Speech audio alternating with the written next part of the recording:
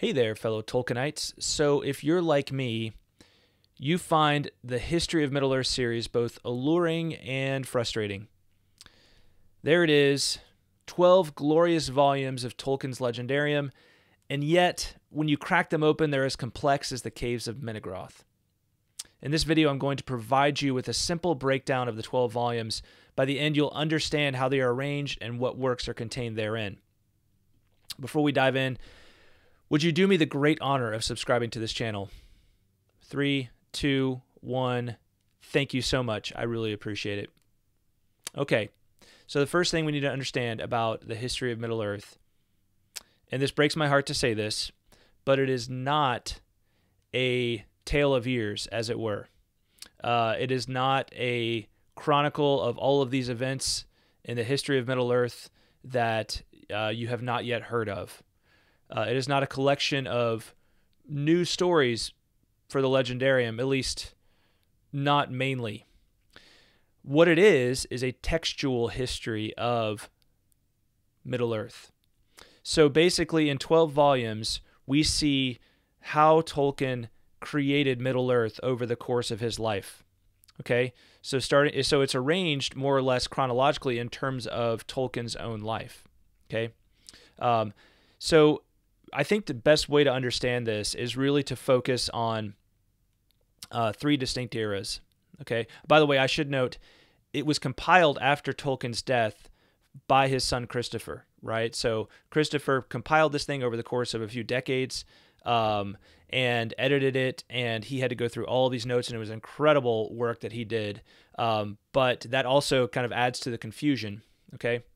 Um, because Christopher will often make editorial comments that are helpful, but you know, it's like, okay, who's speaking right now, right? It's it's kind of hard to just dive in in the middle sometimes. So there's three there's there's kind of th- uh, three phases that we need to break it down into, okay? And it basically all hinges around Lord of the Rings, right? So it's basically before Lord of the Rings, during the writing of Lord of the Rings, and after Lord of the Rings, okay?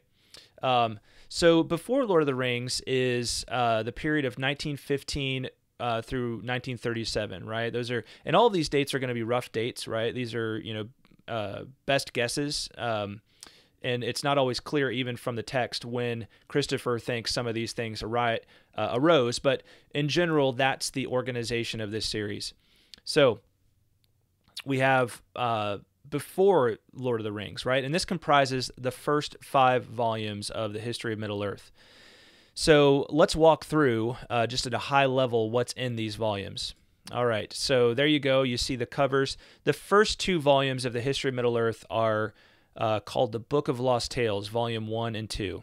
All right, or Part 1 and Part 2. Um, the Book of Lost Tales, basically think of it like this these are the earliest versions of the legends that would become the Silmarillion. Okay, Tolkien wrote these in the period uh, essentially between 1915 through 1920, maybe a little into the early 1920s, right? Um, but you know, this is when he was still, you know, still fairly young. Um, and he, but but we see if you read these stories, you're going to see a lot of familiar things. Now they look different for sure, all right. But certain of the stories look uh, very similar, right, to the ones we see later on. Um, a special note there's a really interesting frame narrative called The Cottage of Lost Play um, that we don't ever really see again. Uh, but that's the very first thing that kicks it all off. Um, you know, it's a uh, it's a it's a pretty cool little note. Um, you know, just to just to consider there. But the Book of Lost Tales Part One really focuses on what we might think of as the the first half of the Silmarillion, right? The stories that take place more or less in the Blessed Realm, okay? While the second half focuses on those big stories of Beleriand, right? The great legends of Beleriand, um, Tinuviel slash Beren Luthien, Tuor, Turin, the fall of Gondolin, the ruin of Doriath, the voyage of Eärendil. Um, these are the big stories uh, that are in the Book of Lost Tales Part 2. So that's the first couple of volumes of the history of Middle Earth. And remember, we're still before Lord of the Rings. There we go. And now the next one, volume three, is the Lays of Beleriand. The Lays of Beleriand is, bas- is basically comprised of two things. One, a epic poem of the legend of Turin Turambar, and two, an epic poem of the story of Beren and Luthien. Um, and these are pretty incredible, right? I mean, he wrote epic poems for both of those stories. Now, you know, all of the works in here are more or less incomplete, but they are, but they're edging on the end of complete, at least in terms of drafts, right? Um, there are a few things that are very they're just sketches and and one of the greatest things is that Christopher just throws all of these little things in there too. He'll like have a chapter devoted to something and then he'll just have like okay, I found this too. It's like a little fragment of this. You might find it interesting. So there's just there's tons of fascinating things contained herein. Um, but the Lays of Beleriand were composed between 1920 and 1931. So after he wrote the Book of Lost Tales, this is what he spent about the next decade doing. Um, and then volume four still before Lord of the Rings, is The Shaping of Middle Earth. All right, so this is the 1930 version of the Silmarillion and supplementary writing. So basically, Tolkien took what he had written in the Book of Lost Tales and he started to form them into something that looks starts to look a little bit more like we think of as the Silmarillion now, right? Just in terms of its compositional overall structure. Um, and of course, the right, you know, the stories themselves, the legends themselves, developed significantly during this period as well. Um, but when Tolkien, you know, biographical details talks about like you know when the Hobbit was was a success, wanting to publish the Silmarillion. He's talking about like this like this version, right? Not the Book of Lost Tales, but this version. Volume five is the Lost Road and other writings, and this is significant. Again, before Lord of the Rings. This is significant because it's the first version of the Legend of Numenor that we get, right? Um, and it's a fascinating thing, all in and of itself. Really wasn't directly connected to Middle Earth, um, you know, from the outset. But it's one of those things that you know, like The Hobbit, that got absorbed into Middle Earth. Um, so. Uh, in, into the legendarium that he'd established with the Book of Lost Tales and then the Silmarillion.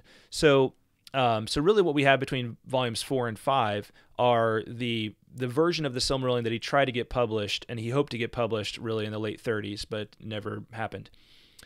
By the way, if you're enjoying this, go ahead and hit that like button and drop me a Mae govannen in the comments. All right, you can even just put MG if you want. If you don't know how to spell Mae govannen, you might take your best stab at it.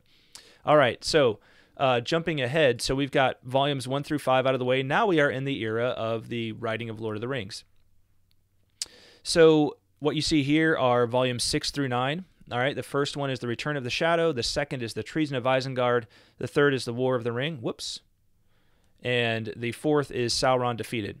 So these four volumes, I mean, essentially, this is the this is the early versions, the drafts of Lord of the Rings as Tolkien was creating it. So, you know, very interesting for you know from a textual history perspective of the Lord of the Rings.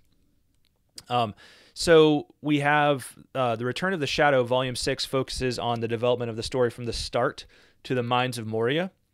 Um, volume seven, The Treason of Isengard, focus, focuses on uh, where we left off in volume six to uh, meeting Theoden, right when the Fellowship meets Theoden. Volume 8 is The War of the Ring, and it's from Helm's Deep to the opening of the Black Gate. And then Volume 9 is Sauron Defeated, which is the end of The Lord of the Rings. And it also contains this thing called the Notion Club Papers, which was kind of the second version of the Numenor legend. Um, and it's also just really interesting how he frames this all too, right?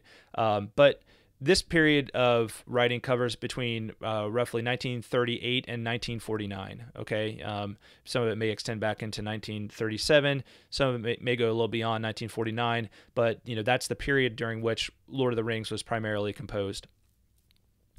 All right, and then so that's volume six through nine, and then we have volume 10. Uh, and really, we can think of volume 10 and Volume 11 and Volume 12 as the after Lord of the Rings uh, works. Okay, so we've got Morgoth's Ring, all right, which is right here, and let's go back to how we thought about the Book of Lost Tales, right? So Book of Lost Tales Part One. These are the the legends that take place first half of the Silmarillion, as we think of it, stories that take place in Aman and you know the Blessed Realm, and then the other half, the part two, was the legends of Beleriand. Okay, uh, the later part of the Silmarillion.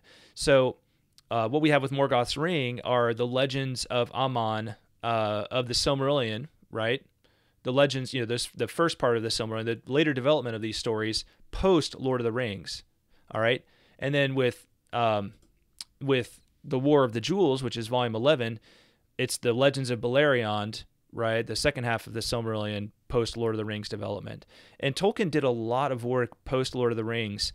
Um, to develop these stories, right? He spent the rest of his life really like working to try to get the Silmarillion just like as perfect and up to up to the task as he want as he dreamed it could be. Um, so, and then we have um, the peoples of Middle Earth. Okay, so this contains um, the development of the Lord of the Rings appendices, as well as the New Shadow, which was the you know attempted but uh, very quickly aborted sequel to Lord of the Rings. Disappointing, I know. And uh, and just some more really interesting Middle Earth outtakes. In fact, I'd say volumes 10 through 12 are really the most fascinating to me. There's a lot of really interesting stuff in there, um, and I think that's partly because Tolkien was able to really kind of start digging in to the details. You know, he'd had he'd had these stories formed. Lord of the Rings really brought the whole legendarium together for him, and he was able to just kind of dig in and think much more deeply about all these things. Um, you know, rather than just trying to like kind of rewrite what he'd already written. Um, so anyway, that is a breakdown, right? So again, easiest way to think about it, there's there's three divisions, right? Before Lord of the Rings, volumes one through five, writing Lord of the Rings, volumes six through nine, and after Lord of the Rings, volumes ten through twelve if you keep that in mind, that really helps you think about it and you know put it all into perspective. Um, so I hope you found this video helpful, and if you did, if you haven't already, I really appreciate if you uh, subscribe to this channel. Maybe even click that notification bell, and um, you know just tell people about this video if they're wondering about the history of Middle Earth and how to understand this series um, if they have interest in reading it. Um, we have also on the Tolkien Road podcast done several in-depth episodes on on the different volumes. So if you'd like to check those out, uh, you know, search for those on the Tolkien Road channel. Right, um, I think you'll find them pretty helpful. All right, everybody. Well, thanks for watching, and I hope you enjoyed this video. I'll talk at you next time.